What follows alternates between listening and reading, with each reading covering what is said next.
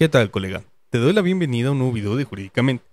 En esta ocasión vamos a ver un tema muy interesante relacionado a las sociedades mercantiles que me pidieron en los comentarios de un video previo. En este video te hablaré sobre la fusión y escisión de sociedades, así que comenzamos. Empecemos por definir cada figura. ¿Qué es una fusión y qué es una escisión cuando hablamos de sociedades? Pues bien, la fusión de sociedades implica que dos o más sociedades unen su patrimonio para ya sea formar una nueva sociedad o que se adapte a alguna de las entidades fusionantes. Es importante mencionar que para que la fusión se pueda dar, esto debe ser aprobado de forma individual en cada sociedad en una asamblea extraordinaria. Por otra parte, la escisión implica que una persona moral, ya sea que se extinga en este proceso o no, divide su patrimonio en dos o más partes para formar nuevas personas morales.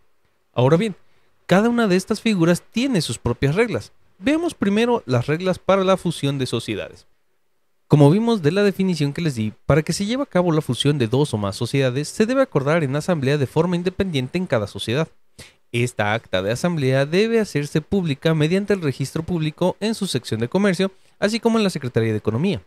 Es importante mencionar que la fusión no se da de forma inmediata, ya que la Ley General de Sociedades Mercantiles establece que para que quede en firme una fusión deben pasar tres meses para que esto sea efectivo.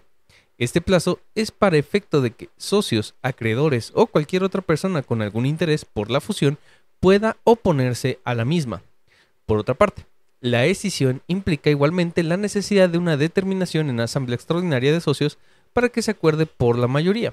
La formación de la nueva sociedad debe protocolizarse debidamente ante notario público para que quede en firme. Se da un plazo de 45 días para que las personas que quieran oponerse lo puedan realizar.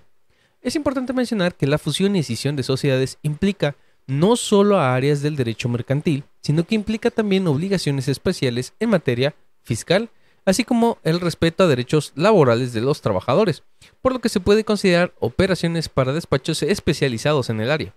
Déjame en los comentarios si te gustaría un video sobre las consecuencias en otras áreas del derecho de la fusión y escisión de sociedades. Y bueno, por este video sería todo. Si te gustó y fue de utilidad, no olvides dejarme tu like. Comparte el contenido para que más gente lo conozca y lo más importante, si aún no estás suscrito, suscríbete al canal activando la campana para que te avisen cuando un nuevo contenido sea compartido. Hasta el próximo video.